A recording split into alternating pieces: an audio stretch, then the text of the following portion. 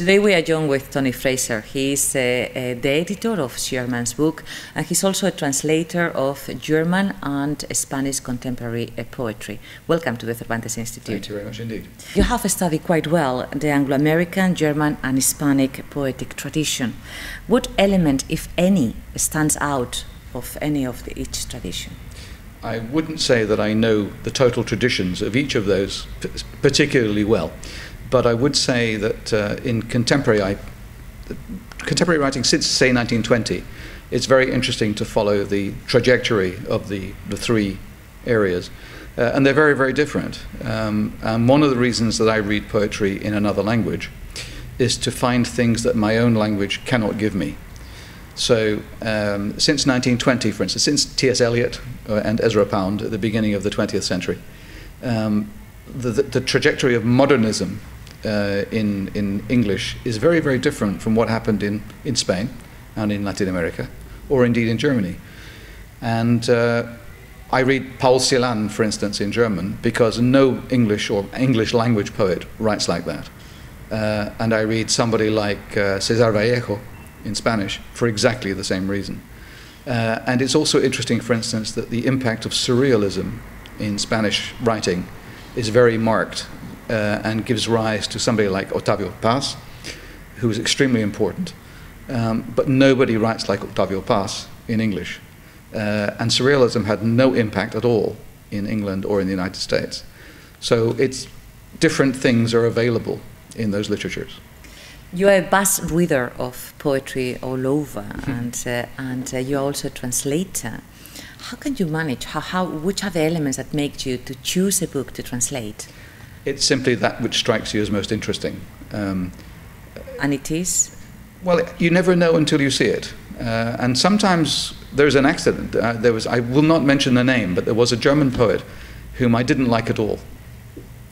Uh, and something was sent to me uh, in translation, and I thought the translation was fantastic. And I thought, hang on, I've read the original, I didn't like this. And then I sat down again with the translation and the original and discovered that I was reading it badly. It was my fault. And the translation that this person brought to me of this particular German poet showed me things that I had never seen before. Talking about translator translations, you are you are yourself a translator, mm-hmm. and you know that translators had been sometimes uh, glorified. Oh, a translator is a creative man mm-hmm. or woman, and others is like, oh, a translator is only a, a worker who just uh, is not really such a big job. How do you define a translator? Um, well, the translator should be a mix of the two. I mean, first of all, you have to be at the service of the original text, which means your scope for creativity has to be lessened to some extent. On the other hand, you're bringing your skills in your home language to bear in a way that hopefully only a real writer in that language can, can bring. That's what I think, but you know, there are so many opinions on this subject. Um, I don't believe in word for word faithful translation unless it's in a translation class and you're studying the language. Have you ever uh, come across a translation that uh, you have thought that is better than the original? No. no. There is a famous story that uh, Baudelaire's translation of Edgar Allan Poe is better than the original. But frankly, I can't really judge. My French isn't good enough. Which kind of poetry uh, do you publish in Shearsman book? It's quite a wide spectrum, um, but I think in terms of the, the stuff written in English, uh, we tend towards a slightly more experimental kind of writing than the mainstream. Um, that's because, in some ways, that's what I like to read. And secondly, it's because uh, the mainstream or more normal kind of writing is taken care of very, very well by other publishers. Uh, and I think I'm very well read in the other area, and I can bring something to the book market that is not uh, otherwise taken care of.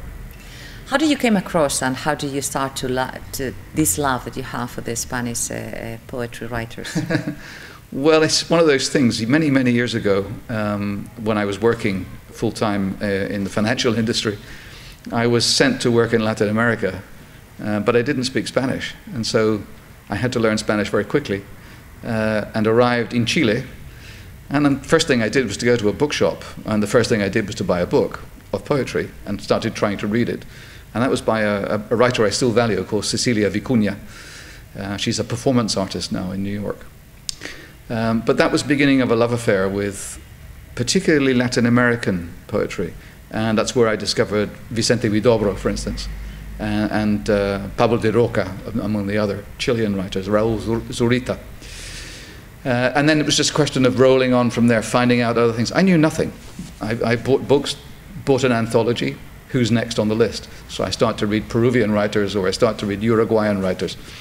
And later I lived in Mexico, so I read Mexican writers. So little by little. You yeah. have mentioned something that uh, I'm sure it's a, it's a combination of very weird for so many. A businessman who likes poetry. have you come across so many businessmen who read poetry? Funnily enough, yes, I have. Yeah. Um, uh, I did spend some of my life working in the Far East, uh, in Macau, which at the time was a, a Portuguese dependency. And uh, the chief of one of the insurance companies there was a very fine experimental poet. I even translated some of his work. and uh, Tony, I would like to know uh, the canon of literature. Who mm. decides nowadays? We know that someone is there who tell us what to read, how to read it, and if we should like it or not. Uh, who are th those men now, how, or women, and how can we fight against that? I think as soon as somebody tells you what to read, you should start to fight. Um, the idea of a canon is to some extent necessary, but the canon must always be changing. Uh, and it's inevitable. Tastes will change. Um, uh, you, it's obvious that uh, a number of women writers have been recovered who previously were ignored, and that's very important. And so I think we begin to add those names to our histories. Uh, likewise, tastes change dramatically. To take an English example, uh, thanks to T.S. Eliot, people started to read John Donne again.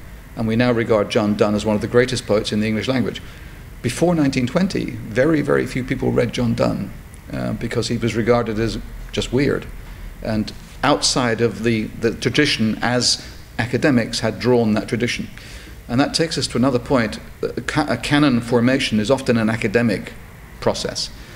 And I believe there is an unfortunate tendency for academics to think in terms of tramlines. everything goes along a nice straight line from here to there and there's no deviation on either side. And in fact, the real history of literature or art is like that to get to that point. Um, and so you have to look at all other areas. And they tend also not to like or be interested in poets or writers or artists who stand alone, who do not have heirs, who do not have followers. And I think that's bad. Uh, if we, if we um, followed that particular line of thinking, then somebody like Paul Celan whom I've already mentioned in Germany, maybe one of the greatest writers of the 20th century. He has no followers. But he might be the greatest poet in the German language of the last hundred years. Tony, you have been many years in this editorial world, and uh, do you have any dream to fulfill? Um, I have two, I suppose. I want to keep publishing what I consider to be important and useful books and that's a very simple one. I think I'll be able to do that. The second is one from when I stopped publishing. I want to translate um, at least most of the poetry of Nelly Sachs, who's a German poet who won the Nobel Prize in the late 60s. So, with these two dreams, hoping that uh, you will fill them, thank you very much for coming. It's my pleasure. Thank you.